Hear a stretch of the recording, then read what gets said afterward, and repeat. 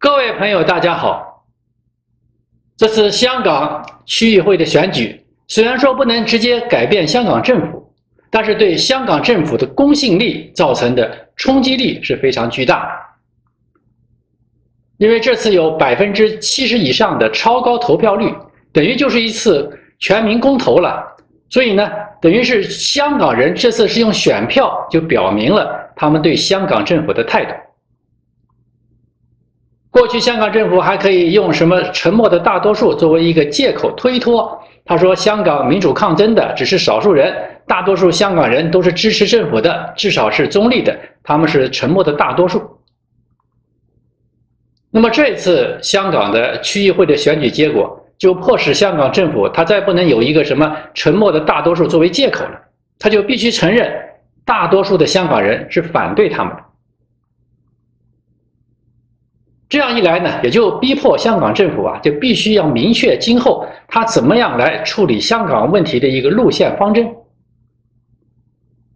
如果从大的路线方针来看，这无非就是两个大方向嘛。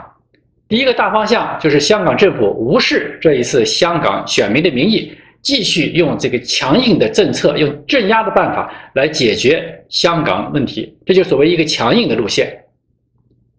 第二个呢，就是香港政府来重视这一次香港选民的民意，用妥协退让的办法来解决香港问题。这个呢，就是一个和解的路线。根据今天香港媒体的报道，香港特首林郑月娥表示说，香港政府正在考虑成立独立检讨委员会，它是作为解决香港问题的一个方案。虽然林郑月娥说的这个独立检讨委员会和香港民众要求那个五大诉求当中的独立调查委员会呢，可能还有一些不同之处，但是呢，独立这个意思就是说这个委员会它是独立于政府的，它并不是一个政府操控之下的一个机构。只要是一个独立于政府的机构，不管是它调查也好，检讨也好，那基本上可以说可以满足大部分香港民众的要求。这也就是说呢，香港政府啊是准备要答应香港民众五大诉求中的第二个要求，就是成立独立调查委员会。这个呢，当然就是说香港政府要准备对香港民众做一个重大的妥协退让，也就表明香港政府啊似乎他们准备要走一个和解的路线，就是用妥协退让的方式来解决香港问题。不过呢。目前只是林郑月娥个人做出这样的表态，这个呢有两种可能性。第一种可能性是林郑月娥和北京已经进行了沟通，北京已经同意林郑月娥向香港民众做妥协让步，也同意林郑月娥成立这个独立的所谓检讨委员会。第二种可能性呢，就是林郑月娥还没有和北京进行沟通。就是说，这次呢是林郑月娥自作主张，她先放这样的话出来，就是要倒逼北京来同意在香港成立一个独立调查委员会。就在刚刚不久之前呢，林郑月娥在脸书上就对他说的这个独立检讨委员会做了进一步的说明。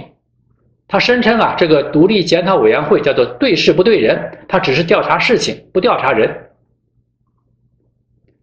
从林郑月娥这个说明来看啊，好像这件事情呢还没有经过北京的同意，所以呢，林郑月娥把这个事情啊就说的很含含糊糊的。林郑月娥说的所谓对事不对人，你既然是一个事情，必然会牵扯到很多人，牵扯到很多人的责任。这个事情和人啊本身你是很难把它分别开来，单独来这个所谓叫做检讨这件事情。所以说，你只要开始一个独立的调查。你事情和人那本来是不可能分开的，所以林郑月娥把这个独立检讨委员会说成是一个对事不对人啊，故意他是这么说，就是故意要把他的这个功能啊说得很含糊。其实他就是要等待北京方面的同意，等了北京方面有一个同意之后，他再给大家一个明确的说法。那么这一次香港区议会的选举呢？对北京，特别是对习近平造成的尴尬程度，要远远大于香港特首林郑月娥。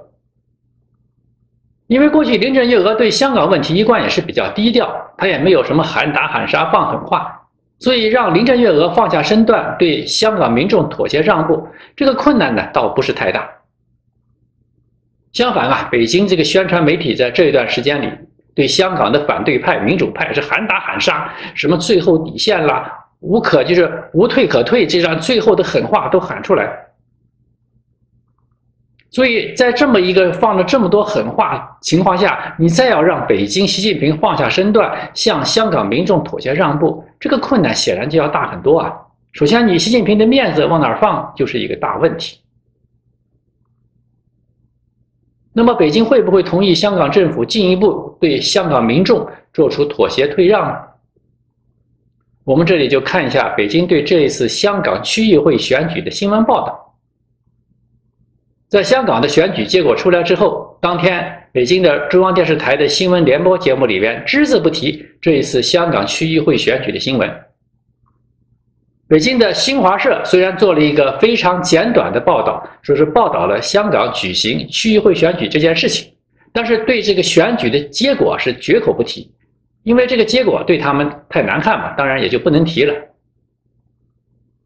那北京官媒这样的新闻报道啊。就是表明，这次北京又回到了过去的那个鸵鸟政策。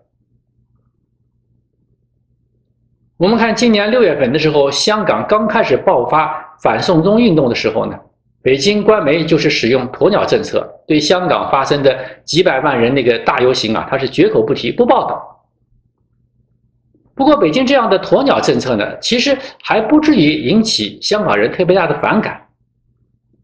可是后来北京。官媒搞的那个宣传方式，就一改过去鸵鸟政策，改了一个积极进攻的政策。他们就开始啊高调报道香港的紧密冲突啊，而且还把这个香港的民主抗议人士啊作为他们的敌人，破口大骂。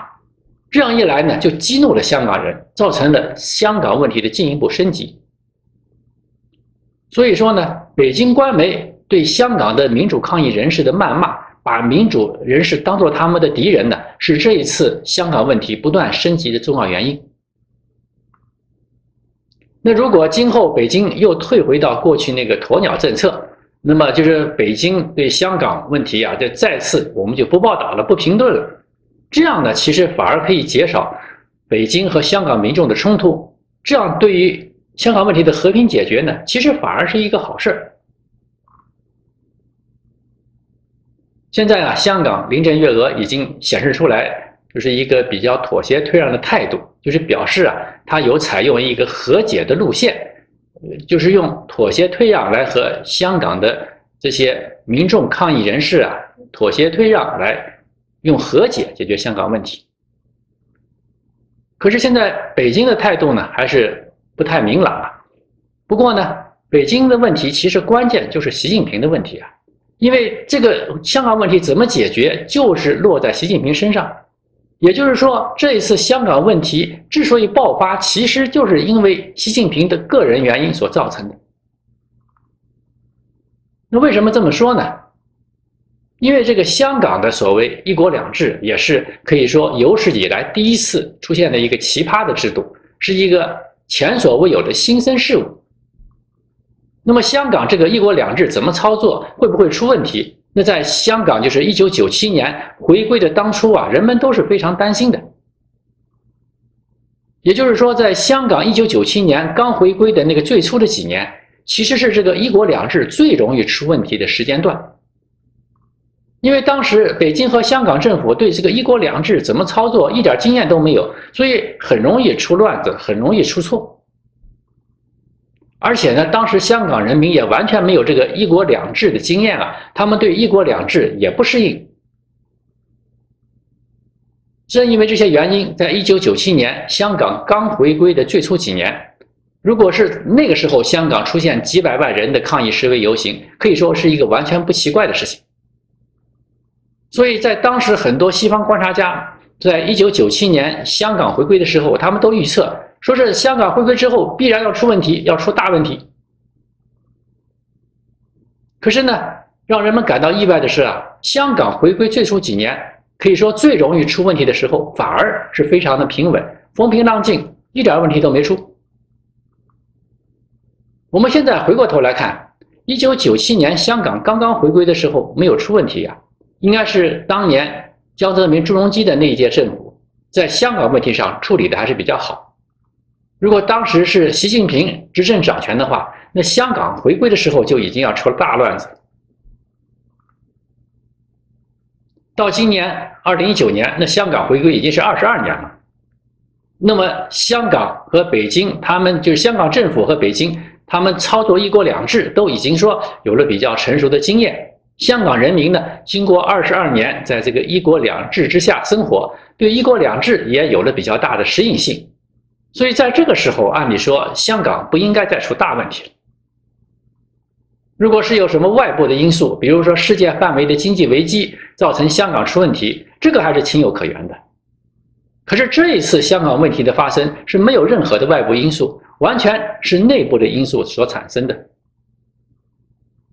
北京的官媒声称香港问题是美国、英国这些西方国家煽动起来的，这个说法呢完全是毫无道理嘛，因为。为什么说美国他们在一九九七年香港刚回归的时候，他们不煽动，非要等到香港二十就是回归二十二年之后，他们再来煽动呢？所以你稍微理性的分析一下，这样的所谓的把这个责任推到美国、西英国这些西方国家身上，完全是毫无道理的说法。香港是经历了江泽民、胡锦涛这两届政府，基本上没有出大问题。到了习近平执政时候出了大问题，那显然这个责任就是习近平的责任了。所以习近平对香港问题负责，他必须是他这个责任可以说是推脱不掉，也是甩不掉的。有人说啊，香港问题是邓小平和英国签订的那个“一国两制”遗留下来的问题，所以呢，邓小平要对香港问题负责任，习近平是没有责任的。这个说法是完全没有道理的。因为邓小平也可以说，香港问题是慈禧太后遗留下来的，所以慈禧太后要对香港问题负责任，邓小平是没有责任的。大家都知道，是慈禧太后在一八九八年和英国人签订条约，把香港租给英国九十九年，所以到一九九七年，慈禧太后在一八九八年和英国签那个租期九十九年的期间到期了，所以呢，才有了香港的回归问题。如果说没有当年慈禧太后把香港租给英国，当然也就不会有今天的香港问题。所以说，你要说这个慈禧太后要对香港问题负全责，其他人都没有责任，你说这样的说法是有意义吗？一个领导人退位或者退休之后，都会给后来的继任者留下一些，就是留下一些不好解决的棘手的问题，这是一个必然的事情。那么继任者啊，他就有责任来处理前任领导人留下的棘手问题。你不能把责任推给前任领导人，说这个问题是我不管。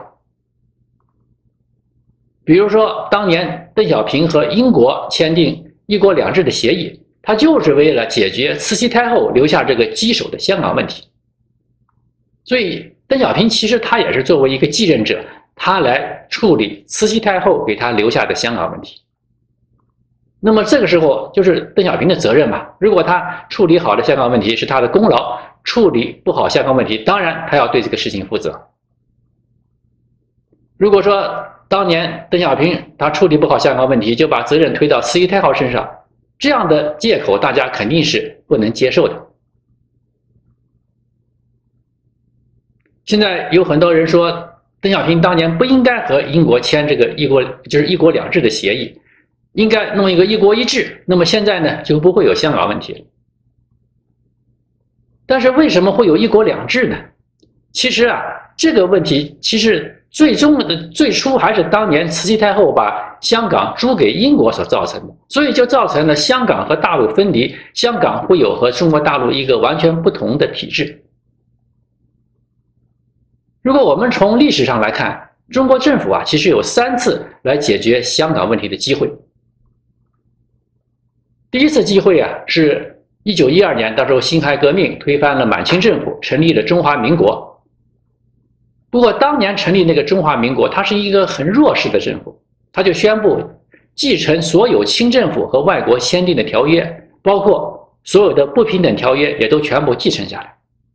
所以呢，香港啊也就按照清政府和英国签订那个条约，继续是租给英国。第二次机会是一九四五年二战胜利，当时候中国作为战胜国，蒋介石国民政府就宣布废除一切和西方国家签订的不平等条约，包括收回西方国家的租界。一直到第二次世界大战之前呢，中国国内还是有不少外国租界的。比如说上海、天津，那都是著名的外国租界。在一九四五年抗战胜利之后呢，蒋介石他就宣布废除一切不平等条约，就收回了上海、天津这些外国租界。不过，我们如果严格一点说呢，应该说，在一九四三年，当时候汪精卫伪政府啊就已经宣布过说收回这些租界了。香港的新界部分也是属于租借给外国的租界，那按道理说，香港应该也是属于回收主权的那么一个部分。可是呢，当年呢，英国在这个香港问题上是非常的强硬，蒋介石也是忙于内战啊，他也就没有功夫来解决这个香港问题。这样一来呢，那么香港问题啊，就是香港租界回收的问题就给拖下来，一直就往后拖了。那么到了第三次呢，就是一九四九年，当时国民党政府败退到台湾，中共的军队如果那个时候强行武力回收香港是可以做到的。不过当年毛泽东考虑到他们现在这个共产主义的这个中国啊，还希望和保持一个能够就是跟西方国家有接触的窗口，所以呢，毛泽东他们是故意。就是把这个香呃香港啊保留现状，他们故意不回收香港。后来呢，北京的中共政府和英国长期也没有一个正式的外交关系，依旧一直是等到一一九七二年，双方才正式建立外交关系。所以呢，在一九七二年之间，那北京和英国也从来没有正式讨论过香港问题，因为没有正式的外交关系。那从一九七二年北京和香港就是正式建交之后呢，按道理说双方这时候可以开始讨论香港问题了。不过当时中国最高领导人毛泽东的态度啊，他是不急于解决香港问题，所以呢，在毛泽东时代，北京方面也是故意他就避开不和英国谈香港问题，因为香港问题啊，你要想解决也是非常的棘手，所以毛泽东他也是故意避开这个烫手的山芋。他是故意不和英国去谈香港问题，要留给后人去解决。那到了邓小平时代，邓小平他其实也是可以故意不谈香港问题呀，要把这个棘手的问题去留给后人解决。因为你香港问题你处理不好，很容易就扣一个卖国的帽子。邓小平的这个一国两制虽然不能说是一个最好的解决办法。但是呢，它就是一个双方可以接受、比较可行的唯一办法。我们看当年英国提出的解决办法，第一个办法呢是继续延长香港的租界期；第二个办法就是把香港的主权和管辖权分开，英国把主权交还中国，但是呢，中国让英国继续管辖香港。英国方面提出的这两个方案，对于中国来说，那都是丧权辱国、色彩很强的方案。当然没有中国领导人敢签这样的协议，所以邓小平提出这个“一国两制”啊，就是算是当时中英双方唯一可以同意的一个解决方案。所谓“一国两制”，其实就是允许香港高度自治啊。我们看香港有自己的法律，有自己的货币，有自己的护照，这些都是一个独立国家才有的东西。由此可见，香港的自治程度那是非常高的。虽然说北京在香港有驻军，但这只是一个象征嘛。因为香港基本法规定，北京的驻军没有香港政府同意的话，他们是不能随便进入香港活动的。哪怕是一些驻军到香港街头扫马路做点好事，那也是需要经过香港政府同意的。我们从一九九七年到现在二十二年这个“一国两制”的结果来看。香港人啊，基本上他是接受了邓小平的这个香港高度自治的一国两制。特别是香港基本法还规定，未来香港可以实施民主直接选举的议会和香港特区领导人。如果说北京尊重当年的这个中英联合声明、一国两制的承诺，允许香港人将来直接选举议会和特区领导人的话，本来呢，香港不应该出现今天这样的问题。我们看现在香港人的抗议啊，他抗议的不是一国两制，而是抗议北京要收回一国两制，要搞一国一制。所以说，香港人他可以说已经接受了邓小平的一国两制，他们也是赞成一国两制的。